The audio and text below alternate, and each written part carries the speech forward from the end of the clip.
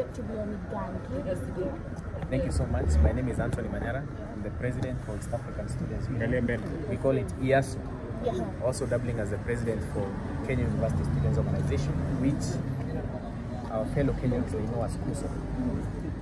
Uh, today, I believe it's a very uh, it's a very historic day in our country because uh, all our citizens have rallied behind uh, the Right Honorable Raila Amolo Odinga, his candidature for the African Union Commission chairperson, which we have seen it's very wise as comrades, not just in Kenya but also in the East African space, to endorse in unison.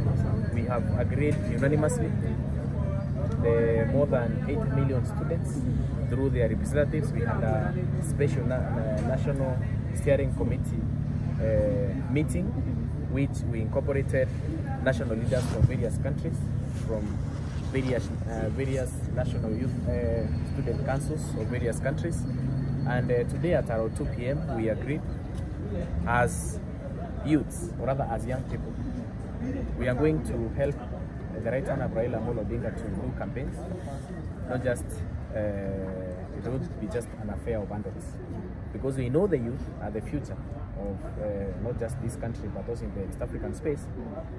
We can only accept our own for us to be admired from elsewhere.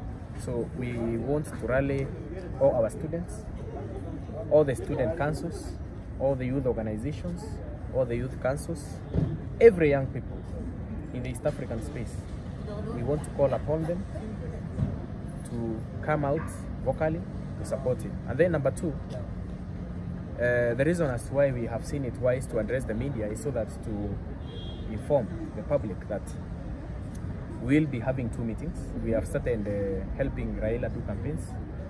We'll have a meeting uh, in Arusha this weekend. We'll be in Arusha, mobilizing our student leaders. And then we'll go to Bujumbura in Burundi.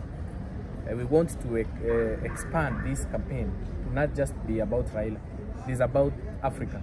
We want Africa which is united, which is progressive, which is inspiring, and it is creating opportunities for the youth. Remember, we have African Union Agenda 2063. Even in Kenya, we had uh, Vision 2030. These are blueprints which we expect them to be achieved. And looking at the prospects, we're looking at the history and the legacy of Raila Amolo Odinga, it resonates very well with these progressive uh, ideologies that he envisions to champion, or rather to achieve as the chairperson for African Union Commission. I think that is basically what we want. We wanted to say. It is basically a, an endorsement and to tell East Africans will be in, will be right at their doorsteps, campaigning for the right honorable Raila Amolo.